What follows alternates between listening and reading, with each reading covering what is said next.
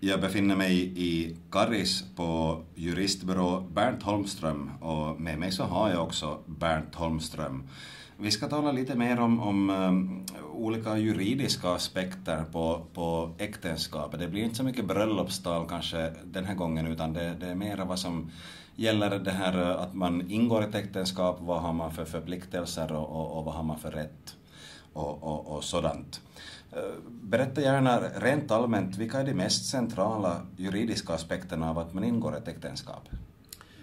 Uh, där hade vi ju tidigare, om vi går längre bakåt i tiden, så, så fanns det till och med den här tanken med ett förmyndarskap mellan parterna. Men, men för ganska länge sedan så har man i Finland haft det här att det, det är två jämbördiga parter som, som gifter sig. Och det betyder att vardera parten fortgår som juridiska självständiga individer också vid ett äktenskap. Eh, det viktigaste är kanske den här begränsningen som uppstår på grund av giftorätten. Det vill säga en sån här vilande rättighet som, som parterna har i varandras egendom. Vilket leder till till exempel att man inte kan sälja bort det hem som man har gemensamt utan att den andra är tillfrågad. Också om hemmet skulle vara i den enas namn. Och, och, det där, eh, sen kommer det in vissa skyldigheter beträffande underhåll och, och sådana här aspekter. Men det viktigaste är kanske det att, att, att det där eh, giftorätten kommer in i bilden. På vigseln så säger man ofta att man lovar, uh, det brukar ju heta trohet i nöd och lust och så vidare. Är det här juridiskt bindande eller är det bara någonting som man säger? Och där igen så, så har vi den här historien bakom det hela och, och, det där, och dagens läge. Eh, tidigare eh, så var det här med otrohet eh, en av de viktigaste orsakerna att få en skilsmässa, men idag så finns det ingenting sånt. Utan det här med trohet är nog egentligen bara moraliskt bindande. Eh, eh, äktenskapsskillnad har man rätt att få, eh, en subjektiv rätt att få det när man bara vill ha det. Så det är bara att ansöka om det. Så det, man behöver inte ge något skäl och ge någon förklaring eller bevisa någonting, utan, utan man bara ansöker om skilsmässa. Men i det ögonblick som man säger ja, ingår man då ett juridiskt avtal?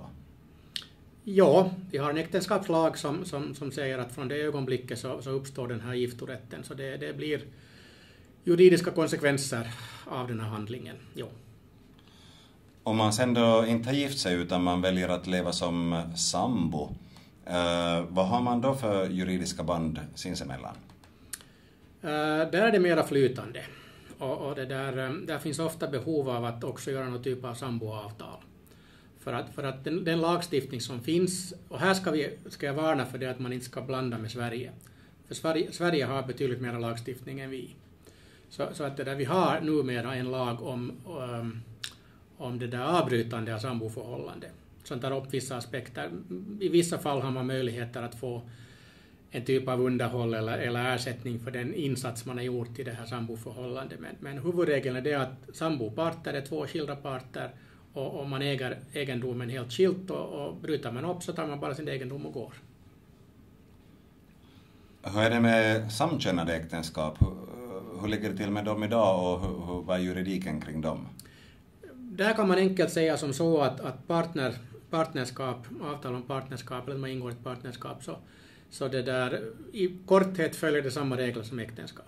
Det enda är att, att det finns vissa, vissa saker beträffande barn, det är mera begränsat om man kan adoptera och, och så här, men, men, men, men principen att vara gift och ha de här rättigheterna med giftorätt och också när man bryter upp sen så är det samma regler för, för skil, skilsmässan. Så, så det där, kort kan man säga att det är i princip samma sak om man bryter upp. Ska vi kanske säga, inte när. ja, som jurist så är jag van att se de där negativa aspekterna. Så att det ja, majoriteten av äktenskapen är fortfarande ändå håller, ska vi hoppas. Så att det. Har eh, förlovning någon juridisk innebörd? Eh, också där har, vi skett, har det skett en utveckling. Tidigare hade den betydligt mera, mera det där eh, juridiska följder. Idag finns det regler i rättegångsbalken. Man kan, eh, man kan vägra att vittna mot sin trolovade och man har vissa möjligheter att vid, vid det där, eh, om man avbryter nu ändå det här, den här mm, förlovningen så har man möjligheter att om man då har varit um, avgörande liksom beroende ekonomiskt av den andra parten så kan man få en viss, viss månad kompensation. Men det är, i praktiken, i verkligheten, så är det mycket, mycket sällan så det har någon som helst juridisk betydelse. Om man är gift, eh, är man då också juridiskt bunden att ta hand om den andra? Ja, det är man. Det står tydligt i, i det där äktenskapslagen att man har underhållsskyldighet som gäller både den andra parten och barnen. Vad är konsekvenserna ifall man försummar? Då kan den andra parten gå till domstol och kräva att det ska fastställas ett underhåll. Rent på en eurosumma, summa euro. Sen då, om äktenskapet upplöses, vad är, vad är juridiska konsekvenserna av det? Den viktigaste praktiskt så är väl det här just med ekonomin. Det vill säga under äktenskapet så äger vardera parten sin egendom. Mannen har en sommarstuga och hustrun har, har en bil. Men, men det där, och det är helt okej, okay, det får man ha, skild egendom, man köper det själv, man betalar det själv, man har egna lån för det. Men, men, men om man sen skiljer sig och, och det där inte har gjort det som kallas äktenskapsförord, så, så det där, mm, kort sagt kan man säga att allt man äger, oberoende av vilkens nam, vems namn det är, sätts i en hög och högen delas jämnt. Så den som har mera måste ge åt den som har mindre.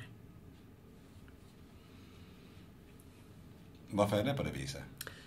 Det är för att man anser att när man har bundit sig för äktenskapet så har man då också gjort en uppoffring och, och ofta är det ju för att skydda den svagare parten, det vill säga kanske hustrun som blir hemma, sköter barnen, sköter hushållet, lämnar sitt arbete kanske och, och det där. Om, om mannen då av deras gemensamma insats köper egendom och hustrun blir utan så skulle hon då liksom inte få någonting för den uppoffring hon har gjort.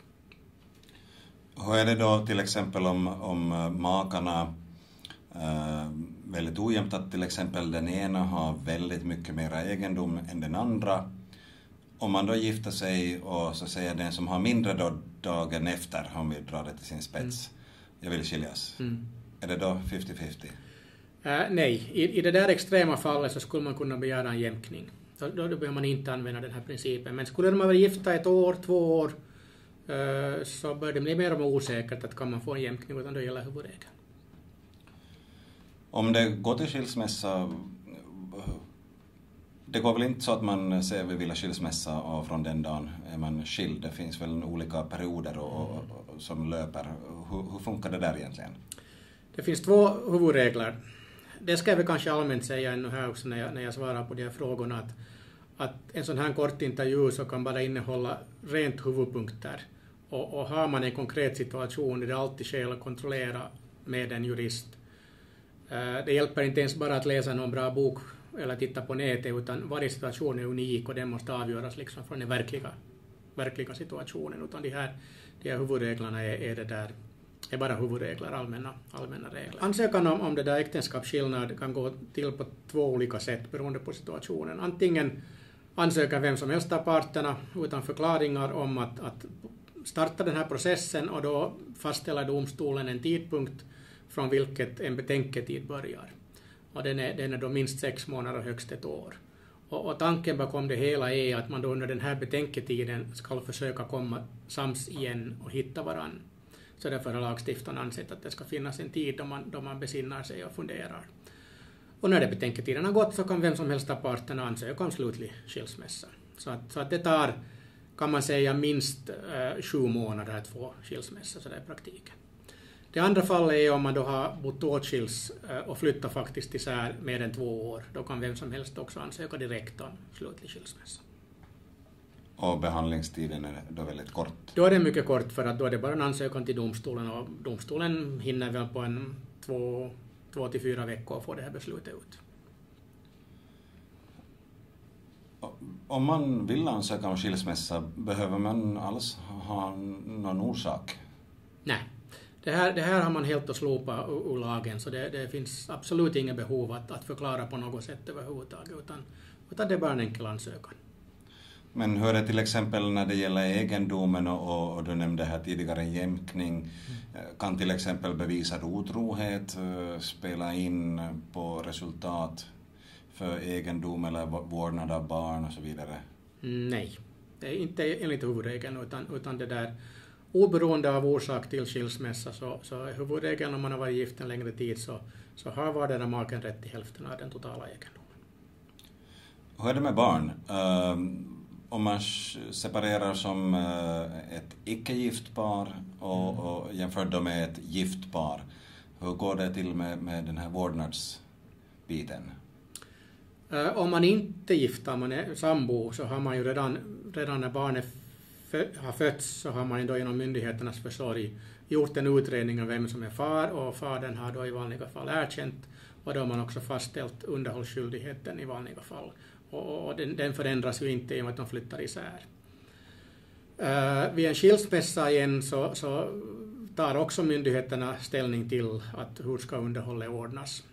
Och, och kan man inte komma överens så, så på ansökan av någon av parten så är det då domstolen som fastställer det. Så att det där, frågan löses på ett eller annat sätt och där är ofta myndigheterna alltså aktiva för att det är deras skyldighet att se till att barnet, barnet sköts.